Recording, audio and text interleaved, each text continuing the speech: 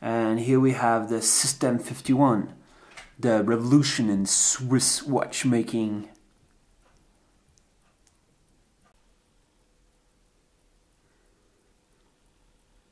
So here we have the the most interesting new development in in watchmaking in Swiss watchmaking. This is 51 parts.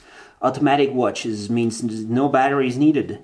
If you use use them every uh, once every four uh, four days approximately, it'll, it'll just work forever, and it'll just be powered by you moving around with it. And uh, this because it's mechanical, no batteries. Uh, just mechanical system for $150, 150 Swiss francs available right now. Just started selling two days ago in Switzerland. And this is 100% made by robots. They have about a 20 meter assembly line that's fully automated uh, in Switzerland.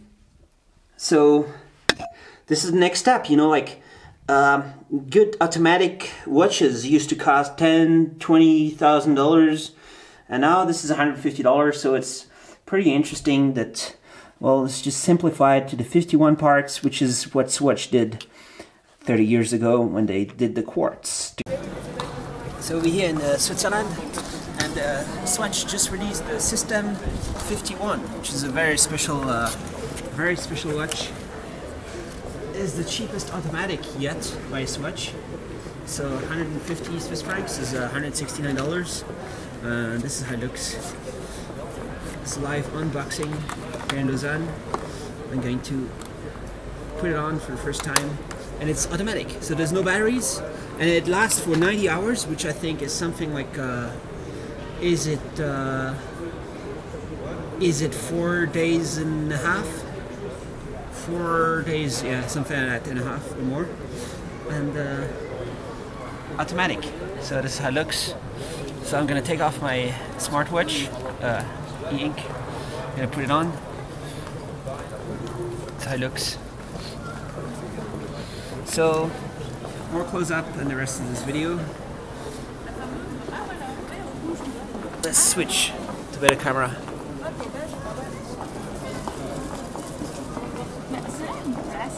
So here's my father's Swatch collection. So he's been collecting the Swatch since the beginning. 30, 31 years ago they started uh, basically revolutionizing and saving the Swiss watch industry because the Swiss watches were too expensive. They made mass market system. All these watches, Swatch have always been making a system to mass manufacture them with the minimum amount of manual labor. It's just made by machines, automatic automatic robots and stuff made in Switzerland. They make they can make all these different designs, uh, like chron chronometer and scuba, which is like diving systems, and where you can do stuff turning turning it uh, around. I think something about alarms. I think also, and uh, they had the Access, which is kind of like a smartwatch. Twenty years ago, they started doing this where you can actually there was RFID I think inside, and you would go and you would go use it as a ski pass, uh, and also maybe use it for payments. That was the idea I think,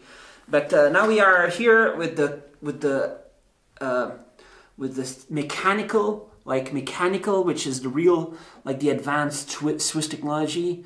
Uh, there's no batteries anymore. There's no quartz. It's just mechanical, but interesting design and uh, interesting R&D being put into here. But of course, it'll be even more interesting when next year I expect Swatch will use their thousands of Swatch stores to sell smartwatches. So I'd like to see um, automatic, but with the background behind the behind the the time time shower it'll be like e-ink let's say e-ink and bluetooth 4 and the battery also inside and and synchronization and uh, notifications from android. Whole bunch of things that swatch could do. They could also do lcd watches uh, which is the funny thing that asia did at the same time as swatch 30 years ago but swatch uh, probably did something but not really but let's see what I'll do so e-ink, LCD, and some other, some special LCD like Pixel Qi would be nice.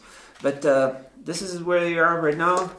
Uh, nice, well, they always do interesting designs and packaging, and it's Christmas, so we're gonna, we're gonna, I think, wear those.